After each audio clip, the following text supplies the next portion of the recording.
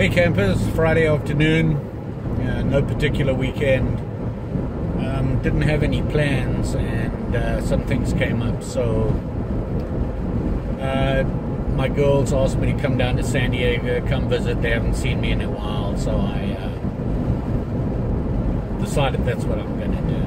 So work's done and leaving Sacramento right now and heading down to the San Diego area gonna spend a weekend with my girls and uh, take my niece out to dinner. She just graduated uh, from college, and uh, we're gonna go out and celebrate with her tomorrow night.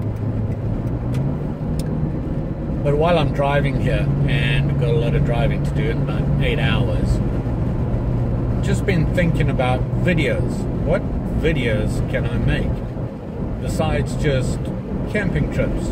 And I think that I really enjoyed the video I made of Putah Creek.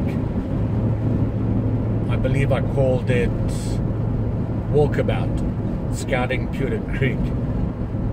I really enjoyed that, and the video turned out very well. It's also turned out to be very popular, which surprised me. Thought all you guys were out there to watch the fishing. Oh, that's right. I don't catch anything.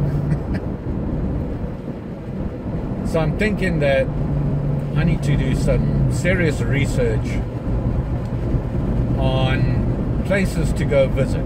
Take a day trip out there or even an hour or two trip if it's close enough. And do a little video of it. Do some exploring. Not just kayaking and fishing and camping. Um, so just giving you a heads up going to be getting some of that. And where I'm going, have no idea. If I find myself in a place that I think people will be interested in seeing, it's going to be a video on it. I really enjoyed my uh, Don Pedro camp out solar camp trip, and I'm definitely going back there. Try a different area. Um, I could probably get three or four trips out of that um, little pond up there lot of places to go and look there. Although it's starting to get a little cool, I'm not sure um, what it's like out there. I know it can get windy. People are saying it gets really windy out there, so that'll have to be something I've got to take into account. But I think winter might be a little bit slower as far as uh, uh, people out there boating and, and skiing and that sort of stuff because the water's going to be a little chilly. Found another little campsite. Uh, the way back from the office. Very small, only like 16 campsites There's a day area, and you can go visit there, and it's right in the delta. And it looks like a good place to take a kayak and just paddle around and maybe do some fishing and see what happens. Uh, I think it's time to be a little bit more of a guide to the area I live in. Um, I don't see a lot of videos on California, Northern California, and some of the areas. I mean, there's camping and kayak videos, but uh, not that many. You do a search on it, and you get very few results. So I think I'm going to start doing that. So there you go. Thinking while I'm driving. More to come. Talk to you later.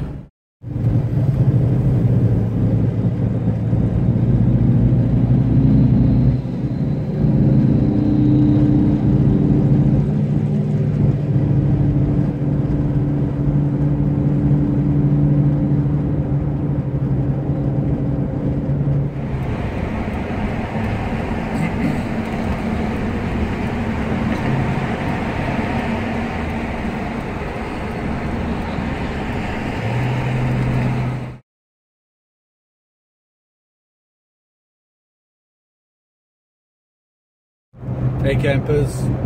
Well, uh, family visit is done. I'm on the return trip, a mere eight hours to go. And uh, it was a good visit. I haven't seen my kids in a while. And I got to tell you, I get up every morning for that reason, is my two girls. Um, first thing I think of in the morning when I get up is I'm glad to be, be up and I can spend time with my girls Um, although they're older now and they're getting on with their life, they're at that point where things are changing for them. They're no longer having to rely, rely on daddy anymore. Now they have their own life. But I, they still want to see me, and I go down whenever I can. So, good trip. I love to see my kids. Got to see the rest of my family as well my brother, my sister in law, and my favorite niece. We actually went down to celebrate her graduation from college. And uh, so now it's an eight hour drive back. Plan is think about why I go camping and maybe pass it on to you and, and give you some reasons to to get into the outdoors with your family or on your own and uh, give you my thoughts on why I go camping. It's a good idea and it's a good family experience. Although I don't do a lot of family camping because obviously uh, my family's not close. 99.9% uh, of my camping is solo. I, it's still the same reasons apply. So during the road trip, there you go. I'll come up with some ideas. Hang in there. It's a long trip.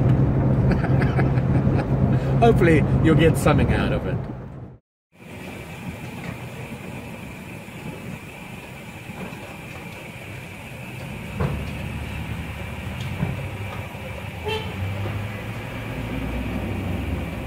When you plan a camping trip, um, another reason uh, to go is to ask yourself, why am I going?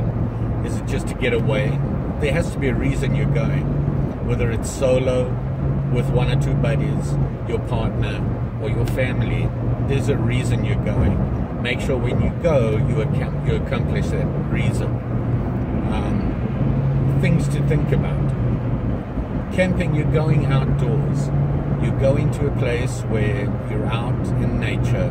Might as well take advantage of it and that means, I don't know, where you set up your camp, put away some time to go for a walk, a nature walk. Have a look around, look at what's there. Nature has a lot to offer. It has got some beautiful and some really ugly sights. Both are an advantage to you. You can learn something. You point it out to them and then take. Whoops. Did you see that? That will be my fast track coming apart because it's so hot outside that the uh, Velcro came apart. Whoops. Anywho, back to what I was thinking. Hmm, that kind of broke the concentration there. These are things that you should be thinking about all the time. For me, I wish I'd done that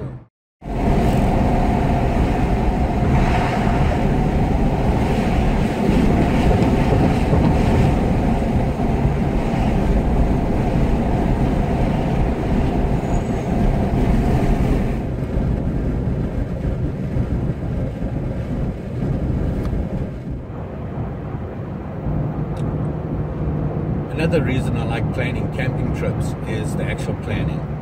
Once I've found out where I've decided I wanted to go, and I sit down and start planning, and I do all the planning, um, I find myself really anticipating the trip. I don't know if it's because I plan and all the planning in it gets me excited about it. But I got to tell you, not every time coming back from a camping trip do I feel that I accomplished what I wanted to always a little disappointed that this didn't happen or I expected this, and it's not the the destination that I went to. It's typically I didn't com- I didn't do what I anticipated, or my expectation was a little high. Um, however, it doesn't happen every time. My last Don Pedro trip, I planned for weeks, and it was going to be a two-night trip and it landed up being a one night trip because uh, but it was still the best trip I've been on so far. It turned out to be a lot better than I thought it was. Didn't start off well, but once I had made my camp and found my place, I got everything done I, I wanted to accomplish, and it was a really good camping trip. I really enjoyed it. Not all your trips will be, you know, what you plan, you can always make the most of when you get there. And you know what? Problem solving when you get there is something you can involve your family in as well if you're with your family. Making a board game or cards or things like that. And making it a um, a family activity rather than them sitting staring at their phone, texting, twittering, whatever they're doing with their buddies. You know, um, so it's a good time to get family time in and help them have them plan it and everything. Like I said, however, not all the trips are so, as successful as you're hoping they'll be, but they're always worth it, good or bad. There you go, another reason.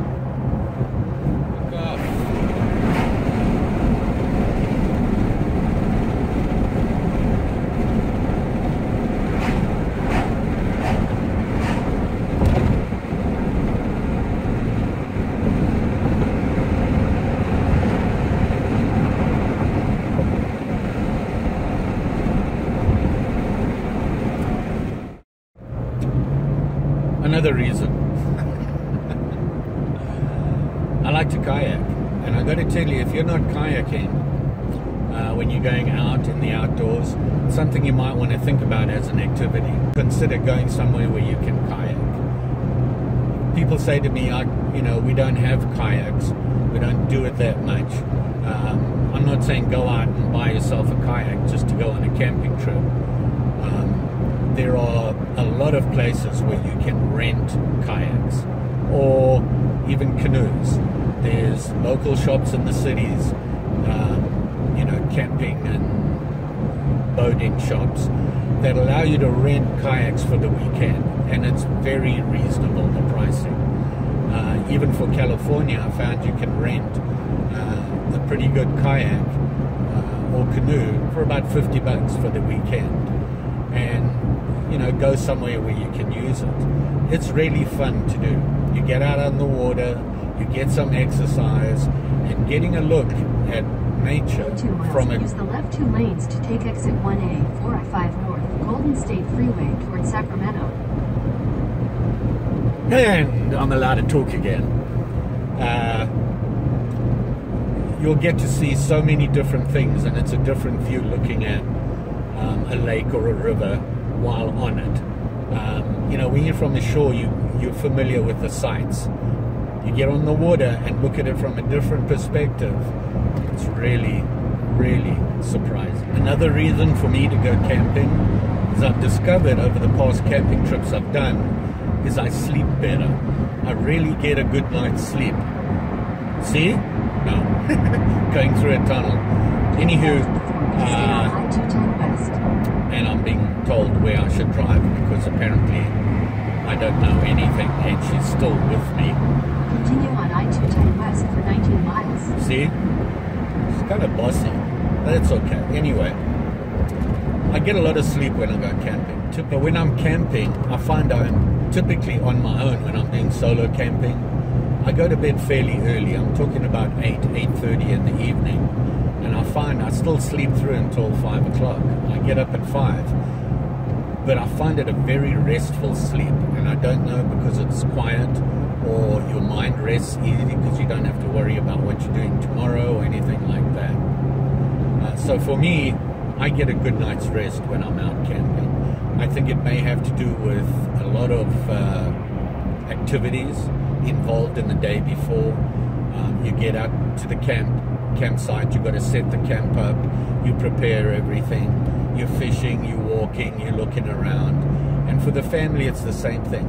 You know, if I'm camping with a group, I tend to stay up a little bit later. You know, the campfire talk uh, goes on a little bit longer than when you're on your own because you run out of things to say to yourself. but sitting around the fire is a great place, place to have conversation with your family, just things in general. Nothing serious. Everybody just chats and stares into the fire, making s'mores or whatever you're doing. It's a good family time. And another reason to go camping is when you plan a trip, set yourself some goals. What do I want to accomplish on this trip? If it's a family trip, do I want to introduce the kids to something in camping? Have them build a fire, show them how to make a fire, the correct way to do it, how to set up a camp, why you set up the camp that way, how do you put up a tent, how do you hang a hang- hammock, how do you set up your kitchen, where do you put your supplies, why? Let them know so that they understand that when they grow up and they have families, they can pass this on to their families, and it just makes camping safer. It makes it better, more enjoyable for them. They don't have any problems when they're camping. So setting some goals is always a good idea. And once again, if you set those goals, they don't have to be hard and fast goals, but give yourself some ideas on what you want to accomplish. For me, the tasks are typically I'm going to go there and relax. I set myself, I want to catch a fish. I do it every time. Don't always do it, but I have fun trying. Um, you know, I always, I've got something new that I bought that I wanted to take camping with me. I try to make sure I use it and see if I can get it to work the way that I hoped it would, and it'll help me the way that I expected it to. Um, so those are little things that I always set myself. When your camping's over and you get home, and you think about what you just spent in the weekend, it'll give you that sense of accomplishment. So there you go. Another reason to go camping. Family orientated. And it's a great way to spend time with your family.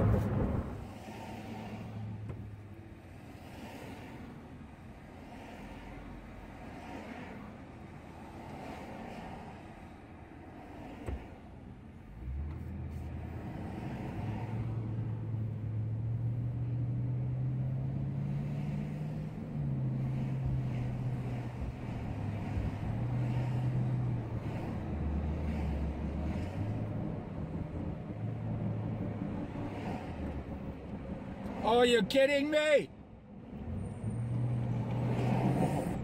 Ass.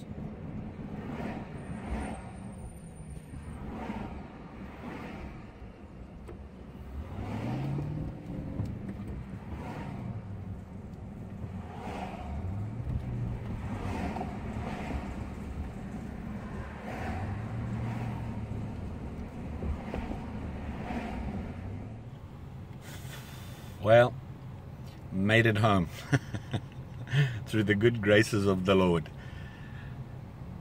I nearly didn't make it anyway. I'm home, I'm home safe. Hopefully, you got something good out of the video. And we will see you soon. Uh, have a camping trip planned. So, see you soon.